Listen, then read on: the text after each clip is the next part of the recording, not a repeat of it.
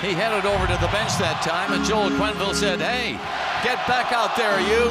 I need you. Patrick Kane is there. Face off to the right of Jonathan Quick.